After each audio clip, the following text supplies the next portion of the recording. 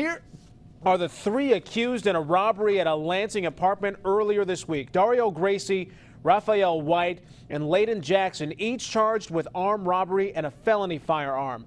Jackson is also being charged with felony assault and resisting and obstructing police. White is also fleeing, has fleeing and eluding charges.